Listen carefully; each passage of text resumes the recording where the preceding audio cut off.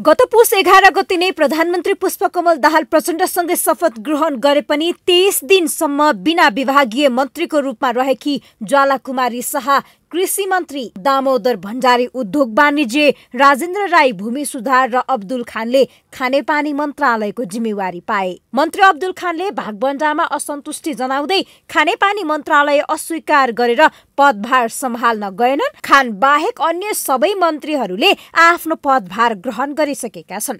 पदभार ग्रहण गर्दै नवनियुक्त मन्त्रीहरूले आ आफ्नो मन्त्रालय अन्तर्गतको सेवा प्रवाहमा सहजीकरण पहिलो प्राथमिकतामा हुने जोड दिएका छन्।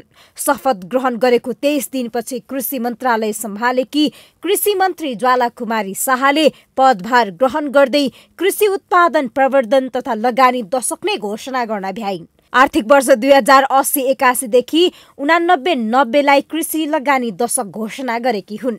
शपथ ग्रहण समारोहमा सबै मन्त्रीहरू दौरा सुरुवालमा सजिएर पुग्दा अपवाद टाइसुटमा शपथ ग्रहण गरेका नवनियुक्त पर्यटन मन्त्री सुदन किरातीले आफ्नो पहिलो निर्णय नै पर्यटन मन्त्रालयका कर्मचारी कटौती गर्ने बताएका छन्। आफूलाई स्थायी सत्ता मान्ने र प्रधानमन्त्रीको निर्देशनमै रुष्ट हुने कर्मचारी जमातमा मन्त्री किरातीको यो निर्णय उनको कार्यकालका लागि सहज हुने छैन। मन्त्री किरातीले निजगढ अन्तर्राष्ट्रिय विमानस्थलको निर्माण वायु सेवा निगमको सुधार गर्ने प्रतिबद्धता जनाएका छन्। अब नाता गोता र परिवारबाट कोही सोर्स फोर्समा आउँछ भने त्यो काम हुँदैन भनेर अहिले नै म जानकारी गराउँछु घोषणा गर्छु।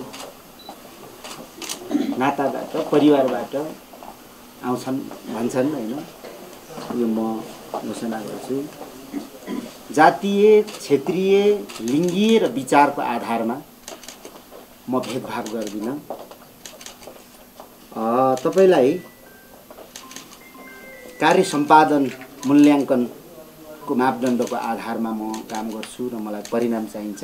मन्त्रीहरूको पहिलो वरियतामा पर्न सफल सञ्चार मन्त्री रेखा शर्माले सञ्चार तथा प्रविधिको सेवालाई देशव्यापी बनाउनेतर्फ आफ्नो विशेष सक्रियता हुने बताएका छन्। सहज हातमा पहुँच त हुने तर अहिले हामीले कुरा गरेर जस्तै नलाग्ने होइन? त्यस्तो जुन खालको समस्या हाम्रो भइरहेको छ त्यो समस्यालाई पनि समाधान गर्ने गरेर गुणस्तरीय सहज र सुलभ ढङ्गले एउटा सबै हरेक नागरिकको एक्सिसमा हाम्रो यो सूचना प्रविधि पुग्नुपर्छ र सबै हाम्रा कामहरू सूचना प्रविधि मार्फत हुने भयो भने देशले जुन समृद्धिको लक्ष्य लिएको छ त्यो लक्ष्य हासिल गर्दा पनि सजिलो हुन्छ भन्ने लाग्छ र बाँकी अरू कुरा त बुझेरै गर्ने कुरा हुन्छ म बुझेरै भन्छु सबै। पहिलो पटक मन्त्री बन्दै श्रम रोजगार तथा सामाजिक सुरक्षा मन्त्रालय सम्हालेका डोल प्रसाद और्यालले रोजगारीका लागि बाध्यताले विदेशिने अवस्था शून्यमा झार्ने दावी गरेका छन्। त्यस्तै नवनियुक्त सहरी विकास मन्त्री विक्रम पाण्डेले आफ्नो पहिलो प्राथमिकता देशभरका तुइन विस्थापित गरेर झोलुङ्गे पुल बनाउने प्रतिबद्धता जनाएको छ।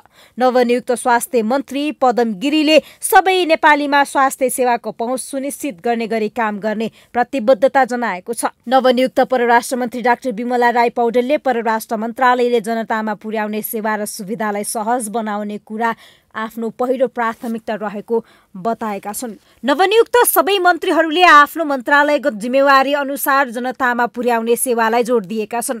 तर उनीहरूको प्रतिबद्धता कार्यान्वयनमा कति आउँछ? शङ्का कायम छ। सहज सेवा र सेवाको प्रभावकारी कार्यान्वयन मन्त्रीसँगै सबै संयन्त्र जिम्मेवार छन्। मन्त्रीको नेतृत्व क्षमताले भए नीतिगत निर्णयसहित कार्यान्वयन समेत असम्भव छैन। नत्र उही फगत एक थान मन्त्री र आसेपासे पोस्ने केन्द्र बन्नेछ। यसतर्फ नेतृत्वको ध्यानकर्षण हुन जरुरी छ।